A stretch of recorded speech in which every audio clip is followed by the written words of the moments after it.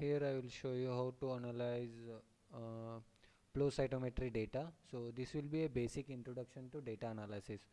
So here uh, this is one color experiment. Okay. So first plot is dot plot. I have taken side scatter height versus forward scatter.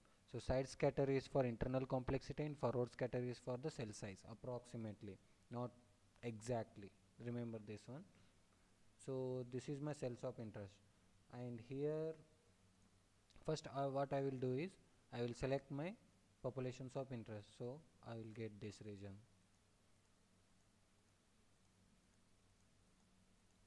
Okay? This is gating. So gating means your selection of populations of interest. So you have selected your populations of interest. Next next task is to find the single cells. So in preparation you won't get all the time only single cells. You will get doublets also. So you have to exclude those doublets from interfering with your uh, fluorescence data or your flow cytometry data. So what you will do is you will first select the cells of interest. Now you have to get around this region. This is your singlets. Okay? So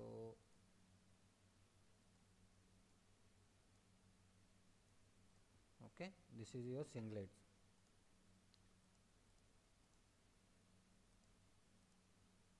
okay. Now these singlets I have selected in my scatter plot where I want to see the scatter of uh, fluorescence and here in histogram also I want to see the shift. So what you will do is this is your threshold now. This is for unstained. So you have you know that this is your unstained. Now whatever fluorescence comes you should see in this region. So what you will do is you will get here this region so whatever whatever fluorescence you will see in your positively stained cells so you should be able to see here. And here also you should be able to see the shift. Okay?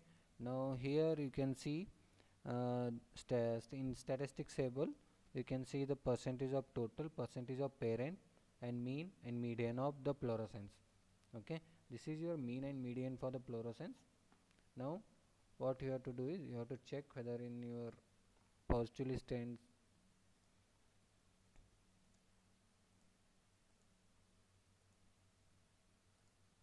okay here you can see there is a shift in fluorescence. So here in scatter plot you can clearly see that there is a fluorescence in your sample okay. So this is what data you need to sh show you to your professor or whomever, whomever you want to show okay? This is what the fluorescence data analysis is.